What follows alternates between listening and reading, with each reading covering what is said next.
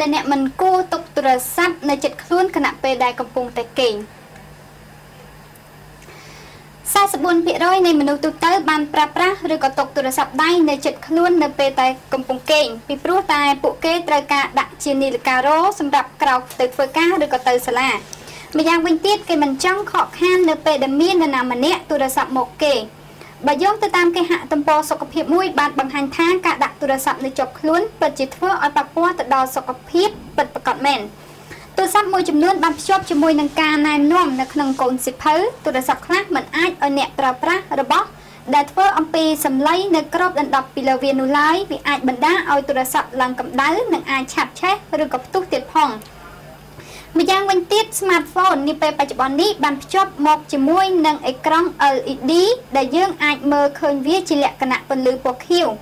ពន្លឺប្រភេទនេះត្រូវបានគេសិក្សាបង្ហាញថាវាអាចរារាំងនៃការផលិតអរម៉ូននៃការគេងមេឡាតូនីននិង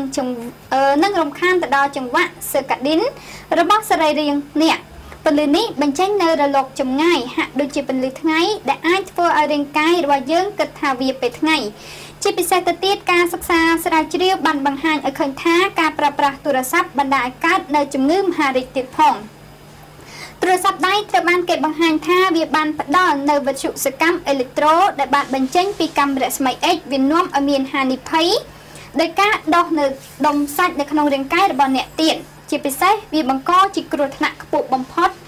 តចំពោះកុមារដែលមានស្បែកក្បាលនិងលលាក្បាលស្ដើងចា៎នេះគឺជាហេតុផលដែលលោកអ្នកមិនគួរទុកទូរស័ព្ទដៃនៅក្បែរខ្លួនពេលកំពុងគេង។